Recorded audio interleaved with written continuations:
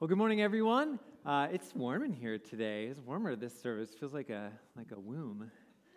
Uh, I don't know. So, all right. So, hopefully, uh, I don't pass out of here. All right. Uh, so, hey, we are uh, continuing in our series called Overflow. And uh, actually, Andy was supposed to be here this morning, and he's not feeling too great this morning. So, first of all, if you wouldn't mind just keeping him in your prayers, that he can kind of get over some of what he's got, just some cough and congestion kind of things. I know that's uh, a lot of people's story right now. So just keep it in your prayers. So today I'm going to be pinch hitting uh, and going through our series and hopefully trying to continue to communicate the spirit of what he was hoping to today as we continue to talk about overflow. And, and what we mean by overflow is this idea of living our lives from uh, the overflow of our hearts. That, that we believe we serve a God who comes in and transforms us from the inside out. That through the uh, grace and mercy and compassion of Jesus, and ultimately his death on the cross, that changes our hearts from the inside out. It changes how we think, it changes what we say, it changes what we do. And that's the kind of life that we want to live. Not one where we are uh, trying and, and it's our effort that is accomplishing things, but we are partnering with God in the ways that he has explained and taught through us throughout Scripture to live the life that he's called us to live, that we've been created to live. Uh, in addition to that concept, at the beginning of the year, we always like to go back and remind ourselves of what our mission and our vision is as a church. And we like to sometimes go through and unpack some of our core values. So, just as a reminder, our mission here at LeClaire is we are striving to be courageous followers of Jesus who love God, love others, and prove it daily. This comes from a command that Jesus gave his disciples back in John chapter 13, shortly before he goes to the cross. And he's with them in this uh, intimate moment with just them. And, and he explains to them, he says, a, a new command I give you. And of course, they're probably thinking, oh, what possibly could he say? You know, we've been with him for years. What could be new that we haven't already heard? And he says, love one another. You've probably heard him say that a time or two, but then he qualifies that. He says, love one another as I have loved you. And I wonder if they began to think about the time that they'd, been, that they'd spent with Jesus, seeing the miracles he's done, seeing the, the way that he's invested in their lives and walked with them and talked with them and revealed to them the truths of the kingdom of God. But little did they know that in just a few hours, Jesus was going to show the full extent of his love as he would give his life for them on the cross. So that is our, our mission. And out of our mission, we have several different core values. One of those is a transforming relationship with Jesus, what we've been talking about the last couple weeks. We desire that everybody who is a part of LeClaire enters into this consistent, continual, transforming relationship with Jesus. But today, we want to talk about another one of our core values that we see as foundational to the work that we do here. And it's this idea of authentic community. Authentic community. Now, I believe this community that we are called to be a part of, the church, is a gift that God has given us to help live out our faith, to encourage one another, and to live out of the command to love one another. In fact, I wonder how many of us would still be sitting here today if it weren't for some of the relationships and if it weren't for the community of the church that maybe we've been a part of for, for many, many years. I can think about my own life, my own family, parents who consistently took my sister and I to church every single Sunday who also set an example in the ways that they served faithfully and consistently and, in a committed way uh, throughout my life. I can think of youth workers and Sunday school teachers and youth ministers and uh, college roommates and uh, ministry partners that have continued to encourage me, continued to help me stay faithful and to uncover what it means to be a follower of Jesus. And I imagine that for you here, you would have some of those very same people that come to mind. That's the power of this community. It's also a community that serves as a key testimony to the world of who God truly is. One of the key factors in living out a transforming relationship with Jesus is the community we have in the church. Jesus said that, his, uh, that to his disciples that people would know that they are followers of him by how they loved one another. This group and this community was and is intended to serve as a beacon to the rest of the world, to model the greatest form of unconditional love human beings can show to one another. Jesus also said that it would be this collective group that gathers together, that comes together, this group that is called out. That's literally what the church means, this word ecclesia, called out, that as they come together, they would be so powerful that the gates of Hades would not overcome them. And it's for those reasons that you and I have a responsibility to strive for unity and to seek out true and authentic Jesus minded community so that we can show what it means to lay our lives down for the benefit of others, to love others as Jesus has loved us. It's truly a beautiful thing. But as you might imagine, keeping unity among a group of people from all different backgrounds, all different histories, different experiences, different cultures, ethnicities, ideologies is no easy task. And this is why Jesus prayed so earnestly shortly before he went to the cross in John 17 for the unity of this group. Those that were there in the present moment beginning to start the church, and then the future generations of the church that would be to come. To call them into this new community that would carry out his mission today. But Jesus didn't have an easy task. But somehow, out of this mess of people, the church was born. A church that exists today. A community that you and I stepped into when we said, I do to our Savior. So, how? How did Jesus take this group of uh, depressed and divided remnant of God's people and transform them into a vibrant kingdom minded community that has lasted for millennia.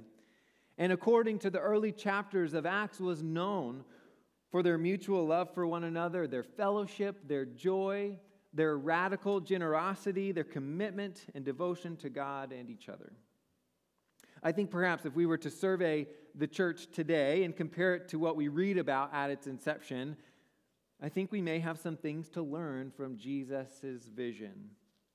Now, I wish I could say that the church throughout centuries has stayed faithful to this call and has looked uh, like what Jesus intended to, but I, I don't know if I can say that.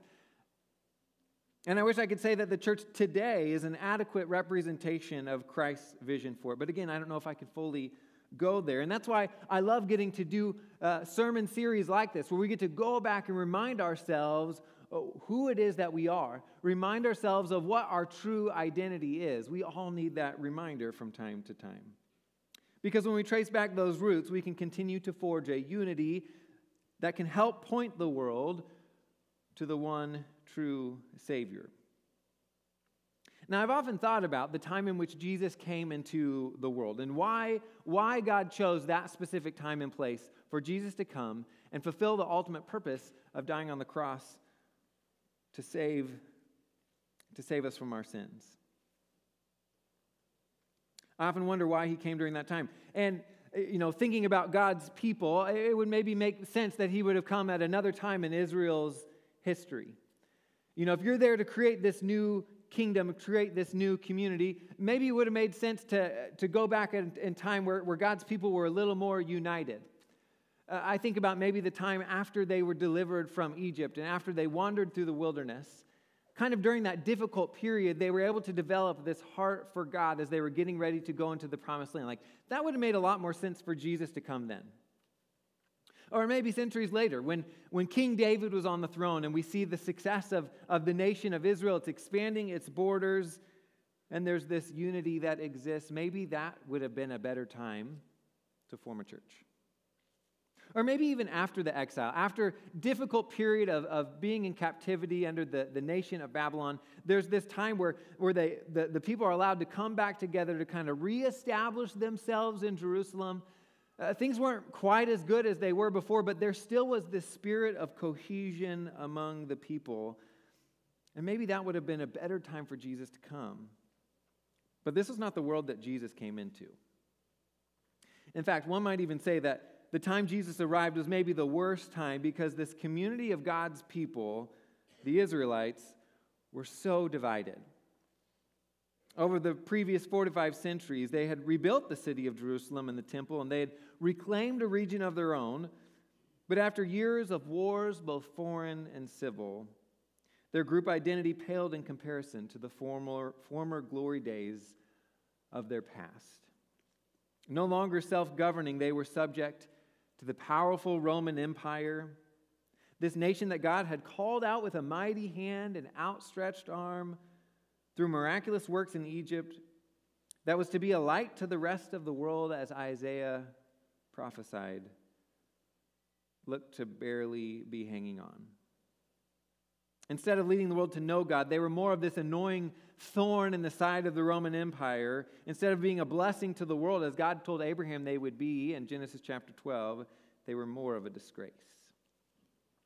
Now, when Jesus arrives, this community of Jewish people were on all sides of every issue. There were the religious leaders who held influence among the people at large, but they were divided into two main groups. You had one group, the Pharisees, who cared deeply about the righteousness of people, or at least they said so. Uh, they sought to uphold the teachings of Scripture. They established synagogues all over the region so that people could come and learn and know the Word of God. Because, rightly so, as they went back through history and saw the moments where Israel uh, began to crumble, it had much to do with their lack of obedience to God. They saw Israel's need to obey God as a primary focus. And I think the intention was right because this was always their problem before. But their desire for obedience led to a certain self righteousness and an oppressive legalism that extended beyond the requirements of the law of Moses received centuries before. They put themselves in the driver's seat of righteousness instead of faithfully being led by God. And then there were the Sadducees. They were the ruling group that held a majority of the power, the political power over Judea. They were this wealthy group that didn't believe in all the writings of the Old Testament, and so the Pharisees and Sadducees often argued about theological issues, but the two parties had to somehow find ways to work together to lead the people.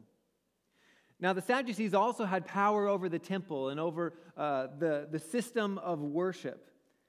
And they were a lot more closely aligned with the Roman Empire, who, who promised to leave them alone if, if everything just stayed under control. So, compared to the Pharisees, they had a, a lukewarm devotion to their faith. If sacrificing some obedience to God and capitulating to the culture of the day meant keeping peace with Rome, and keeping peace with the audience of, of people and pleasing them, this was generally fine with them.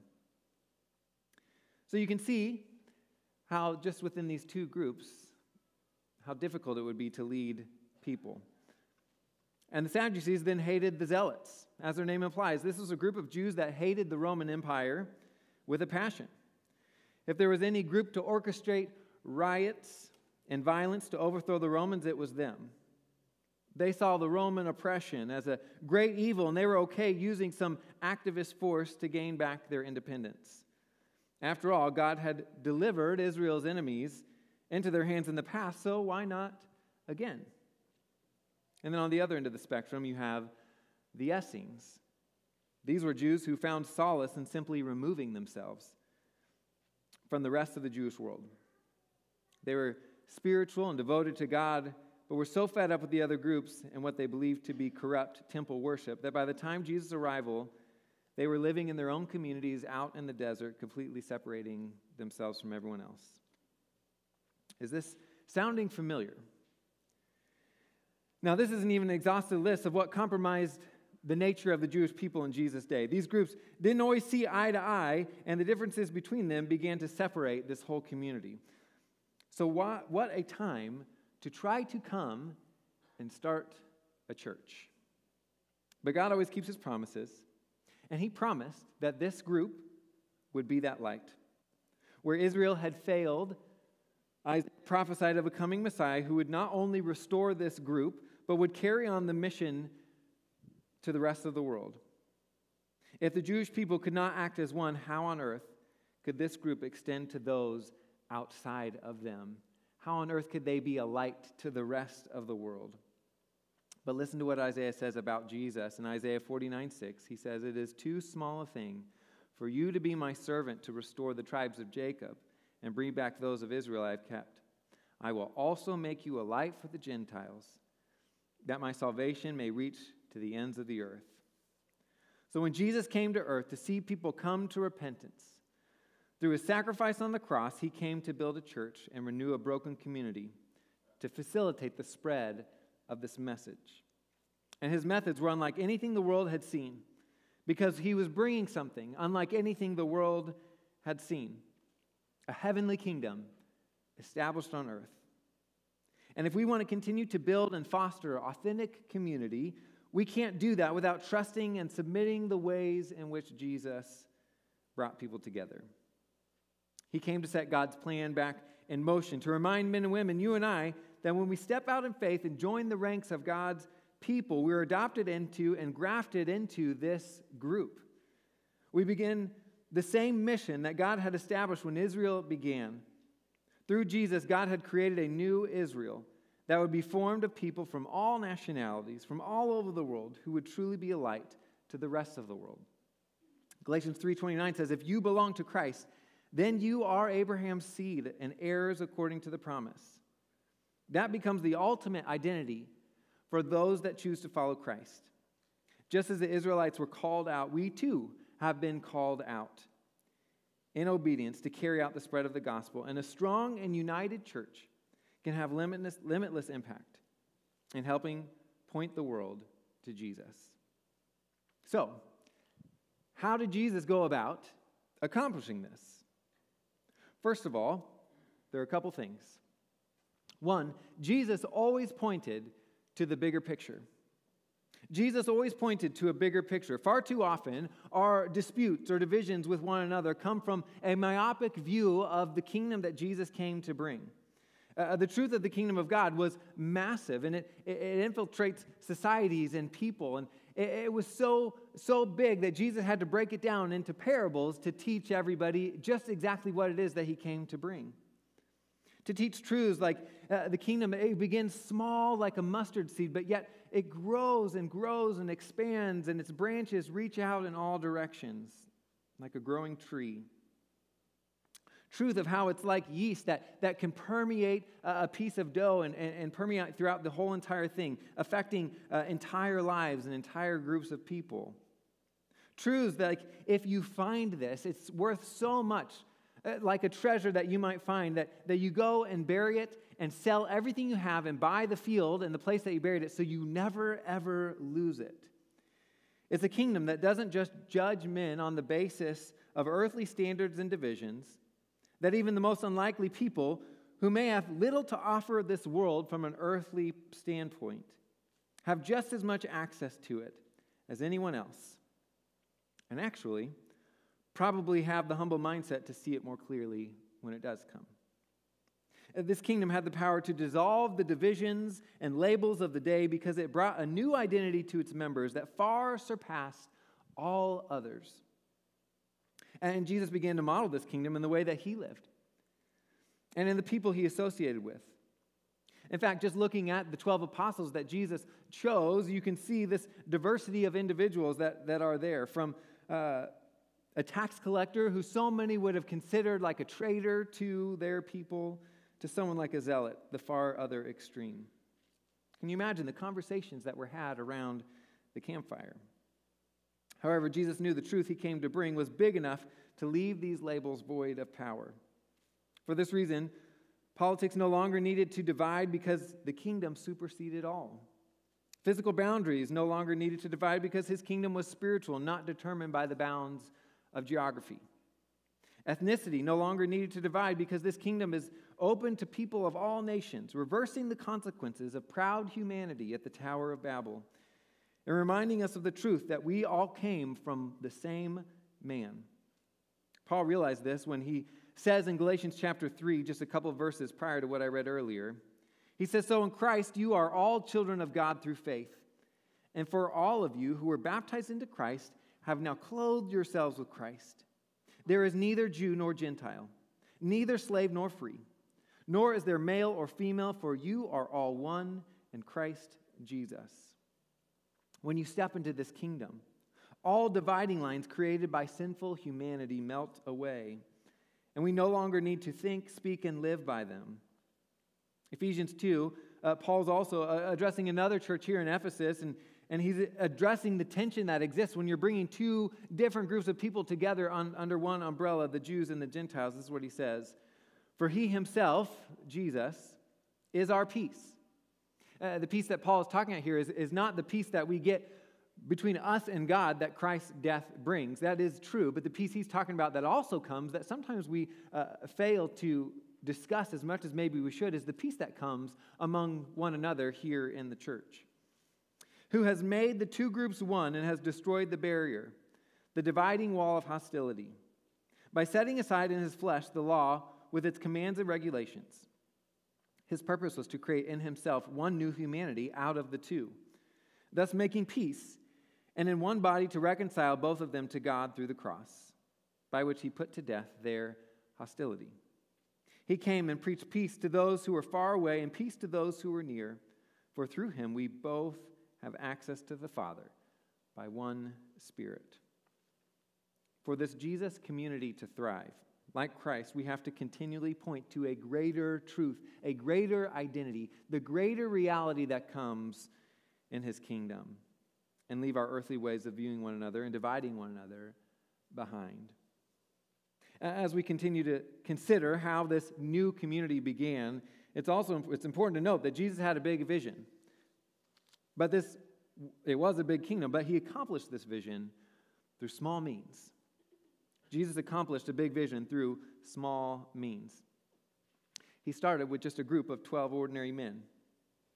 He didn't picket the political powers of the day or try to persuade one or the other Jewish ruling party, the Pharisees or Sadducees. He poured into his own small group of men that the rest of the world saw as likely having very little, if any, influence at all. In fact, Luke 12 32 uses an endearing term. Jesus refers to this group as his little flock, like a shepherd with a small group of sheep. That's what he had. And it's with this small group that Jesus began renewing a nation and building a kingdom from the inside out. If Jesus had come in with power and persuasion, had he valued a large platform above people as his sole purpose in starting a kingdom, I'm not sure if it if it would have been possible for him to adequately display the type of love he came to show, uh, the kind of love that would bring out about true transformation. But in order to make sure his message carried on, he poured into this small group. Now, as we have discussed previously in, in this series, he, he told them to love one another as I have loved you. And this love came through time spent together, sacrificing for one another the type of love that's needed to transform lives, the type of love that's able to walk alongside somebody in their most difficult times. It doesn't miss the one for the sake of the 99. It had to start with a small community.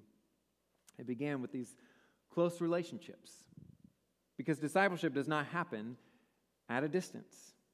If you want to see change happen, if you want to see God's kingdom thrive in a culture and community that you live in, whether it's your workplace, your school, your city, your state, it begins with something small.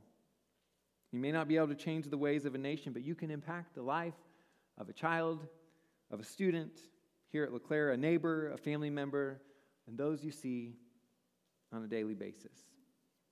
Uh, this is why at LeClaire we have our life group ministry. Uh, this year, as a staff, we've, we've continued to think about what direction uh, are we headed in and where is God leading? And, and, and part of that, an integral part of that, is, is our small groups here at LeClaire. Uh, for those of you that aren't familiar, we, we have a couple places for people to plug in and to uh, create a small group of their own. Like we know that we have the kind of size church that if you walk into service on a Sunday morning, it's really easy to come, sing praise, listen to a sermon, and then leave without having meaningful interaction with people around you. Uh, but I don't believe this is the kind of life, the kind of authentic community that God has called us to live. And so here we have a couple options. We've got life groups, which are, are groups of people that do life together. They meet together on a regular basis to encourage one another, to pray for one another. And then we have some classes and Bible studies where community can be formed as well, but just has a little more emphasis on, on education, on knowledge, and on learning God's word. And we want everybody here to, to plug in and to be involved in one of those. As it stands now, we have about 37% of our, of our adults that are plugged into a, a life group or a class. And we have a, a goal this year of trying to get that to 45%. Uh, because we know and believe in the value that this can bring to individuals' lives. Uh, so today, I know last week we had a card available in the pew in front of you, but there is again another card that uh, is different from last week that is all about plugging into community. There are some brochures there that, that talk about some of the options that are available, and then there's a card. If, if, if you're at a place in your life where, you know, maybe you've thought about jumping in and you're just not quite sure, man, we would love for you to make that make that choice. Uh, you can look right there on that card and, and check something and just drop it in the box as you leave today. Uh, uh we'll be doing signups the next couple of weeks, so if you need time to think about it, uh, you've got that. But we'd love for you to participate in that. And we've got several options there that are, are available. For me in my own life, uh, some of the most influential people are not people that are maybe have a big stage in the church, but it's the people that I've done life with on a daily basis. They're the ones who have the most influence in my life uh, to encourage me and um, share wisdom with me, and, and we want the very same for you here. As we seek, uh, as we seek this as a church, don't undervalue how big, how a big vision sometimes is accomplished through small means. Now, I know that many of you watch uh, a show called The Chosen. It's been around for a few years now. My wife and I uh, have watched through most of it, and it's really just kind of a retelling of, of Jesus' life. There takes some poetic license uh, on some of the disciples' lives and kind of you know makes up a backstory with them. Uh, but one of the things that uh, I, I like about this show is that in the first season or two, as, as these individuals come and encounter Jesus for the first time, we begin to see that they, uh, they had a, a, lot of priorities in their life. And then all of a sudden, after this encounter with Jesus, everything changes. And what once was uh, important uh, priorities that they had, now this kingdom that Jesus brings becomes everything. We may not have all of their full biographies, but we know that Christ and his kingdom become the ultimate purpose for them. So much that they're willing to give their lives for it. When God's people come to a place of full submission to Jesus and his kingdom, it unites us like nothing else can. And we want to invite you to be a part of that. Now, in this series, at the end of every sermon, we always like to go back through our partner's commitment. This is a commitment for those that have gone through our Discover LeClaire class that we present and share. And at the beginning of every year, we always like to go back to this to remind us of what it is that we're committing to here as a church. And so I just want to take a moment to read that with you this morning. I think we have it on the screen here. It says, I will be faithful with the gifts God has entrusted to me in order to make the body complete. When another part of the body is hurting or down, I will do what I can to lift them up. I will be an encourager.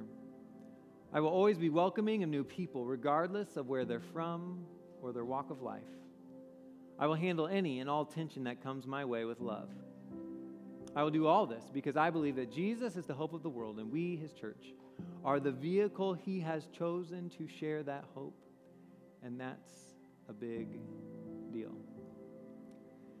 Now, in just a moment, we're going to sing a song. And, and I just want to encourage you if there's anything going on in your life that we can be praying about, I'll be up front, Trey will be up here as well. We'd love to do that uh, to help be a part of, of this community for you.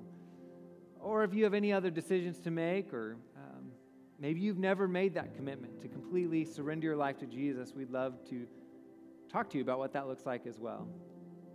But let me pray for us this morning, and then we can uh, sing our final song.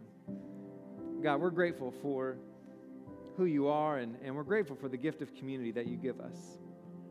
You've created us to do life with other people.